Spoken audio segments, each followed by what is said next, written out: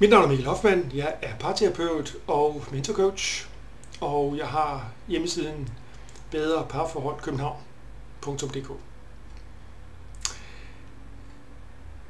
Hvorfor, hvad kan det være, at omkring halvdelen af samtlige ægteskaber, der bliver indgået i Danmark, de bliver opløst?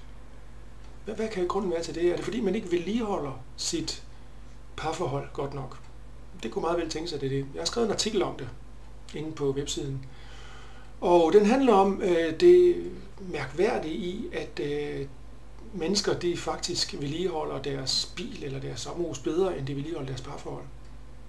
Det er som om, at når man først er blevet gift, eller man har fået børn, eller man er flyttet sammen, jamen så tror de fleste mennesker, at de bare kan slappe af. Og nu, nu sker der ikke mere. Nu kan jeg bare gøre, hvad der passer mig.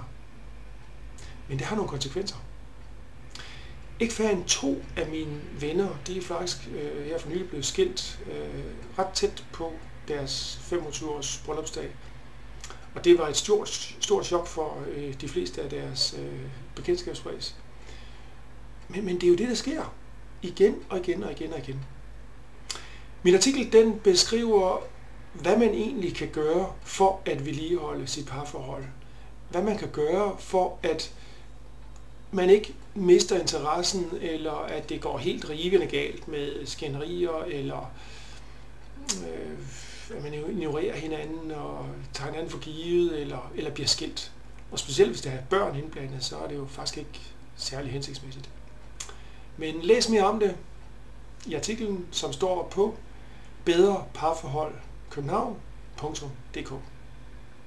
God fornøjelse med det.